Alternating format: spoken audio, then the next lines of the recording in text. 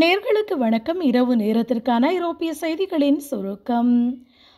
ஐஸ்லாந்தில் ஒரே நாளில் இரண்டாயிரத்தி இருநூறு நில அதிர்வுகள் பதிவு.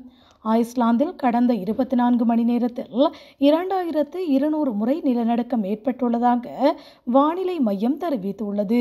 இதன் காரணமாக எரிமலை எப்போது வேண்டுமென்றாலும் வெடிக்கலாம் என்றும் எச்சரிக்கை விடுக்கப்பட்டுள்ளது. இதுவரை ஆயிரத்து அறுநூறு நில அதிர்வுகள் அளவிடப்பட்டுள்ள நிலையில் தலைநகர் பகுதியில் மிகப்பெரிய அளவில் இது உணரப்பட்டதாகவும் தெரிவிக்கப்பட்டுள்ளது. ரஷ்யாவின் ஏவுகணை தாக்குதல் பன்னிரண்டு குழந்தைகள் உட்பட நாற்பத்து மூன்று பேர் படுகாயம்.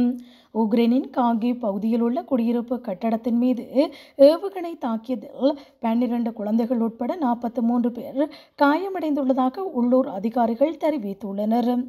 மேலும் ரஷ்ய இஸ்காந்த ஏவுகணை பெர்வோமைஸ்கி நகரில் தர இறங்கியுள்ளது காயமடைந்தவர்களில் ஒரு வயது குழந்தையும் பத்து மாத குழந்தையும் உள்ளடங்குவதாக தெரிவிக்கப்பட்டுள்ளது. மீண்டும் வழமைக்கு திரும்பிய அரச போக்குவரத்து சேவை. பிரான்சில் அரச போக்குவரத்து சேவைகள் மீண்டும் முழுவதும் வழமைக்கு திரும்புவதாக அரசாங்கம் அறிவித்துள்ளது. பிரான்சில் ஏற்பட்ட கலவரம் காரணமாக போக்குவரத்து பணியாளர்கள் மற்றும் பயணிகளின் பாதுகாப்பு கருதி அரச போக்குவரத்து சேவைகள் நிறுத்தப்பட்டிருந்த நிலையில் மீண்டும் வழமைக்கு திரும்பியுள்ளது. புட்டினின் கட்டுப்பாட்டில் கூலிப்படை தலைவர் உண்மையினை வெளிப்படுத்திய பெலாரஸ் ஜனாதிபதி.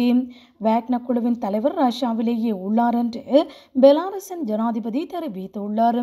சர்வதேச ஊடகங்களுடனான கருத்து பகிர்வின் போது சிஎன்என்னுக்கு பெலாரஸ் ஜனாதிபதி அலெக்சாண்டர் லுகாசென்கோ இதனை தெரிவித்துள்ளார். ஜெவ்ஜனி பிரிகோஜனை பொறுத்தவரை அவர் சென்ட் பீட்டர்ஸ்பர்க்கில் உள்ளார்.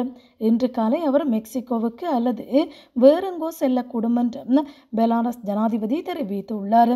ஆனால் அவர் பெலாரஸில் இல்லை என லுகாசன்கோ தெரிவித்துள்ளமை குறிப்பிடத்தக்கது. வேக்ன குழுவின் தலைவர் எங்கு உள்ளார் என்பது குறித்து என்னிடம் கேள்வி எழுப்பக்கூடாது.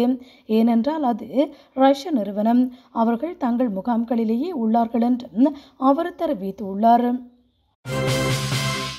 ஐரோப்பாவின் நானூறு விமானங்கள் அதிரடியாக ரத்து. ஜெர்மனியினை தாக்கிய கோடைக்கால புயலில் சிக்கி இரண்டு பேர் உயிரிழந்துள்ளனர். மேலும் சர்வதேச விமான மற்றும் ரயில் பயணத்தில் குழப்பம் ஏற்பட்டுள்ளது. இதன் காரணமாக ஐரோப்பாவின் பரபரப்பான மையங்களில் ஒன்றான ஆம்ஸ்டாமின் ஸ்கிப்பால் விமான நிலையத்திலிருந்து நானூறு விமானங்களை ரத்து செய்ய வேண்டிய கட்டாயம் ஏற்பட்டுள்ளதாகவும் அறிவிக்கப்பட்டுள்ளது. டென்மார்க் ஸ்வீடன் தூதரகம் அருகே மர்மக்கார் வெடிகுண்டு செயலிழப்பு குழு சோதனை. டென்மார்க்கில் ஸ்வீடன் தூதரகம் அருகே சந்தேகத்துக்கிடமாக சென்ற கார் தொடர்பில் போலீசார் விசாரணைகளை ஆரம்பித்துள்ளனர். ஸ்வீடன் தூதரகத்துக்கு அருகில் விடப்பட்ட சந்தேகத்துக்கிடமான தோற்றமுடைய வாகனம் வெடிகுண்டு செயலிழப்பு குழுவினரால் சோதனைக்கு உட்படுத்தப்பட்டுள்ளது. நார்வேயின் வாடகை செலவு உயர்வு. நார்வே ஆஸ்லோவில் வாடகைக்கான செலவு பன்னிரண்டு சதவீதம் உயர்ந்துள்ளது. தொழில்துறை புள்ளி விவரங்கள் இரண்டாயிரத்தி இருபத்தி மூன்றின் முதல் காலாண்டில் முதல் முறையாக வாடகைக்கான செலவு உயர்ந்துள்ளது. மேலும் அடுக்குமாடி குடியிருப்புகள் கடந்த ஆண்டை காட்டிலும் அதிக விலை உயர்வை சந்தித்துள்ளன. ஆடை விதிகள் தொடர்பில் சுவிஸ் நகராட்சி மன்றம் வெளியிட்ட அறிவிப்பு.